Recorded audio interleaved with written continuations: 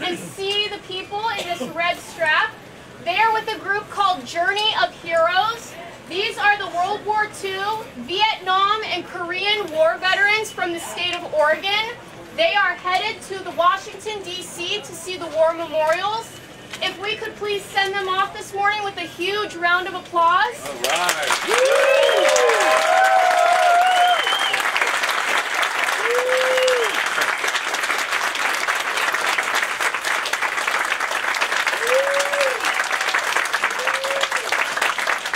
And also, folks, on behalf of TSA this morning, I just want to say thank you for your service.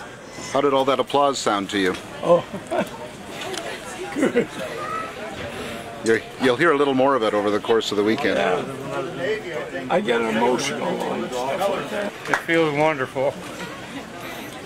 I Can't hardly talk.